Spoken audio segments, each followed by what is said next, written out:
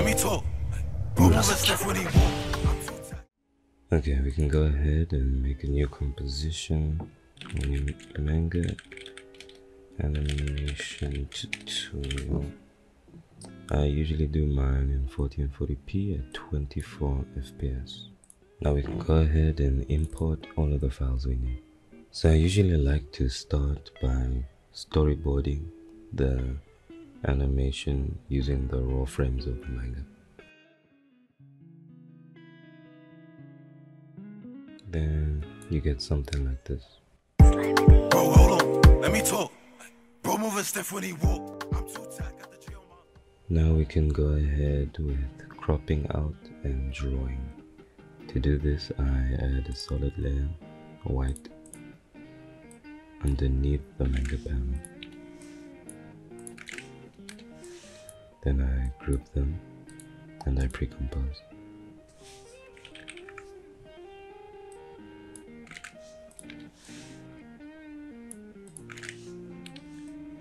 Now I can go ahead and select the paintbrush, double click on the composition and start coloring in the places where I want his legs to be.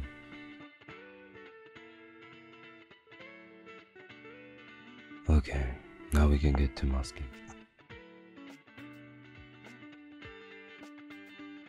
This is the point where you can paint it or color it how you like.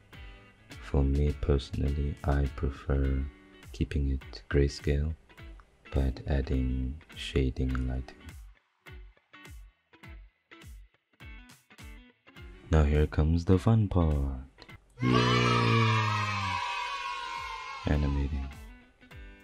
So I'm gonna start animating the top half first.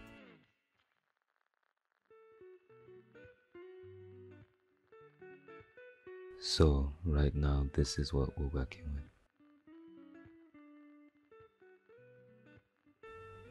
So at this point we need to set up the scene.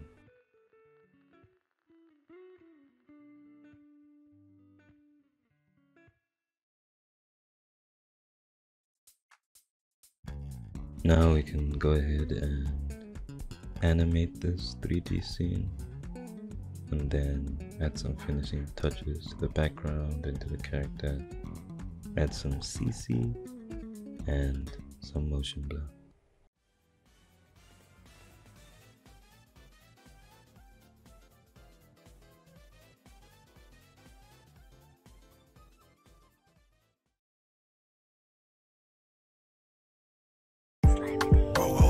Let me talk.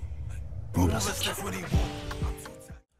Alright, and that's that. So, thank you for watching.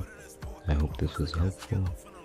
And if you'd like any more tutorials on anything more specific in manga animation, drop a comment down below. Like and subscribe, and bye.